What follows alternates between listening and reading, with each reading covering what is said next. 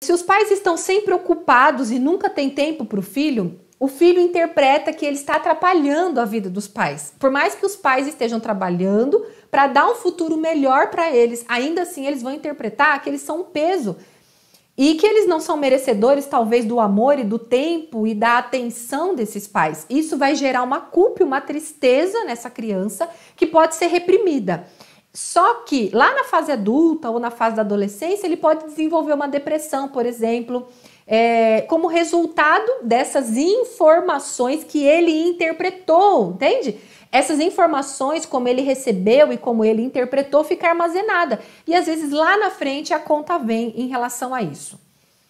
Nos primeiros anos de vida, nós também somos construídas nas nossas conexões neurais. Quem quiser entender um pouquinho mais sobre esse assunto, eu sugiro a leitura do meu livro Ciclos Emocionais Viciantes. A gente vai falar um pouco dele também na próxima aula. Então, se você quiser ir já tendo acesso a esse livro, adquirir esse livro, no, na descrição desse vídeo no YouTube fica sempre as minhas redes sociais, o contato, a loja virtual. Você pode ter acesso para você até compreender melhor a próxima aula.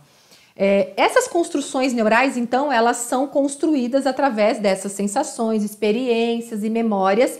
E são as conexões neurais, gente, que movem os nossos sentimentos, quimicamente falando, tá? Porque a gente é corpo, alma e espírito. Então, existe uma parte de corpo biológica que está ligado à química do nosso cérebro, que tem a ver com as conexões neurais, com os neurotransmissores, que interfere significativamente em como sentimos, em como pensamos e em como agimos.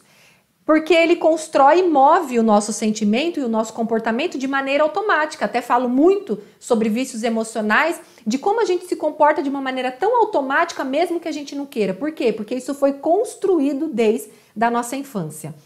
Bom, os nossos comportamentos e sentimentos, eles são muitas vezes guiados pelas memórias que contém nessas células e nesses neurotransmissores.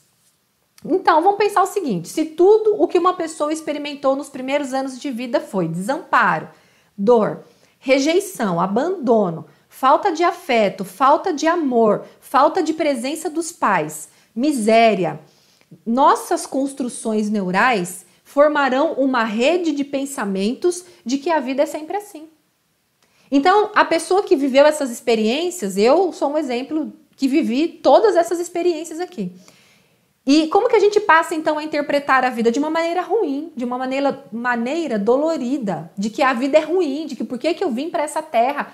Aí vem é, sentimentos, por exemplo, e comportamentos de insegurança, medo absurdo, ansiedade extrema, aquela vergonha também, que a pessoa não consegue nem na padaria comprar um pão, inadequação, desejo de morrer, aí daí vem também a tentativa de suicídio, entre tantos outros males.